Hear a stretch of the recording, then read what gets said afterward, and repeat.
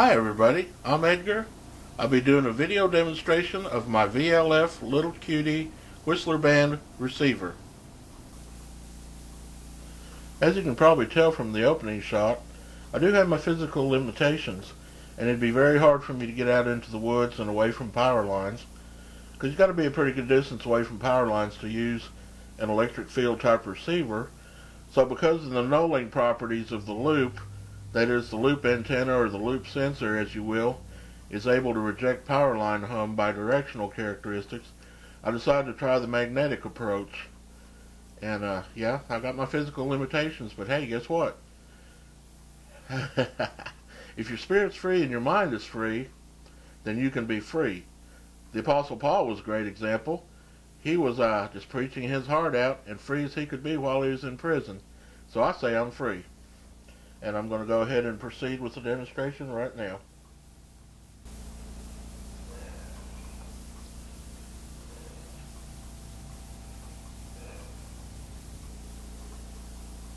First of all, I could have used a fancy sensor, but to just be ridiculous and kind of a sight gag just for fun, I took my jumpers here. They're each 12 and a half feet long, just cheap speaker wire with alligator clips on the end. This forms a 12 turn loop on a 9 inch by 11 and a half inch box, which, uh, funny as it may be, the box is the copy stand I use to display the still pictures. So next we're going to hook it up and, and, show you how deeply the, the loop will know. And uh, we get to the fun stuff because we're going to have the unit actually operating. And uh, I'll probably go ahead and show the circuit board first. It's a custom-made circuit board I had made by uh, FAR Circuits, F-A-R. Guy by the name of Fred Reimers has been making circuit boards for about 35 years. He does great work, and uh, he's not very expensive, so you can look him up, Google him on a search engine, and uh, he's there and he makes the boards. Well, here it is. This is the assembled circuit board, and uh, this is where the unit got its name from, Little Cutie. This cute little 1.6 by about, oh, I guess 5.1, I forgot the exact dimensions. It's a pretty small circuit board. And this thing is essentially a very serious little little uh, VLF Whistler band receiver. I might get a little huffy and puffy here. Need to point things out. Had to get a pointer. Okay.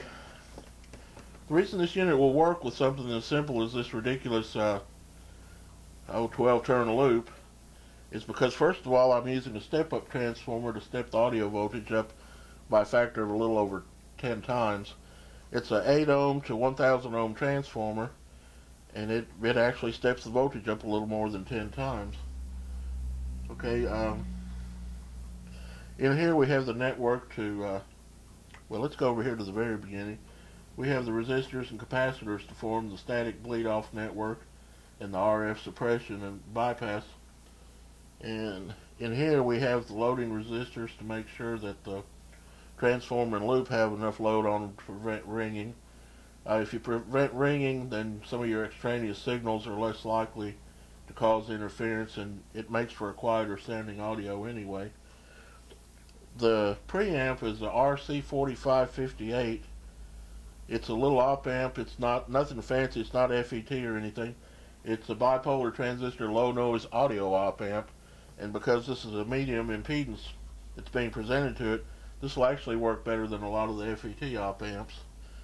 We have uh, a capacitor in the feedback loop here, and it's set small to give low frequency roll off below about 1500 hertz. And then in the second stage we have another one. So essentially what I'm using here is a two-stage preamp, and it's active filtered to filter the lows out in stage one and in stage two and what that does, that gets rid of the amplifier noise in the part of the band that's that you're trying to filter out. I've tried a passive filter before the preamp, and I got rid of a lot of the hum and the noise that way. But first thing that happened after that is I could hear the low frequency amp hiss. It came in, so I decided I'd go active filtering to get rid of some of the amp noise and to provide the deep filtering to help uh, remove hum. So the thing is for people who may want to extend the low end, like if they're out in open space, of course, those capacitors can be made larger and, and bring the low end back in.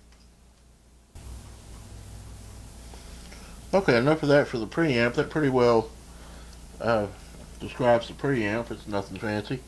Of course, right here we have the LM386, and I use the N4 version. The N4 version is the best of the series. It'll do almost uh, a whole watt. I think typical on one of them is about 750 milliwatts, and they generally do that much or all the way up to about a watt. Okay, we have an LED for the peak indicator. The Spherics and some of the VLF sounds have a very, very short duty cycle. They're actually what's called impulse sounds. They don't sound anywhere ne as near as loud as they are, and they're of such short duration that even when the amplifier clips, you can't hear it as distortion. It's just a pulse a few milliseconds wide, and uh, you can't hear that it's distorted. And what will happen is if your peaks are distorting, you can actually run your gain way, way up and amplify the noise that you're trying to get rid of, and you don't even know that your peaks are severely overdriving because you can't you can't hear distortion. They're just too short. So the LED is a real valuable level indicator, and if you set your gain, this one uses a fixed control. I didn't have the potentiometers at the time, so I just put a resistor in it, maxed it out.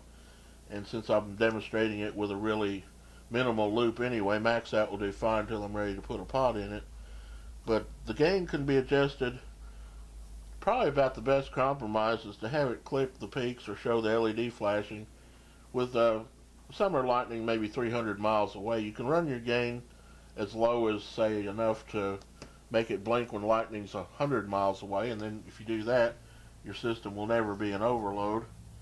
And uh, with an outdoor loop like I'm using here at the house, 40 feet behind the house, and it's a 15 by 15 loop with uh, 10 turns, I can receive lightning uh, generally over a thousand miles with the same type of circuit in my home base receiver.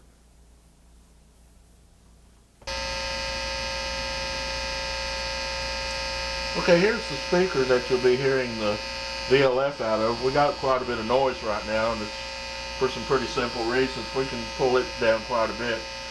The speaker, and uh, while most speakers this size are totally unsuitable, this is a Kobitone speaker that I got from Mouser Electronics, 2 inch by 3 inch, and uh, its frequency range in the 1000 hertz to 20,000 hertz range in other words, your mids and your upper highs on this one are pretty smooth and pretty accurate, especially for a $4 tiny speaker. And it's uh, it's in a project box with a cardboard enclosure around it, and it'll be a receiver, complete receiver later on. But since the speaker is in its sub box and since it has acoustical material behind it, it's a good speaker for the demonstration. So that's why I'm using it. Now this is going to be the fun part. First we'll zoom the camera out. And then we'll, as you can see, we're definitely in the house. And an E-field receiver would be useless in the house. Mostly because there's too much electrostatic field being radiated by the by the electric power wiring in the house.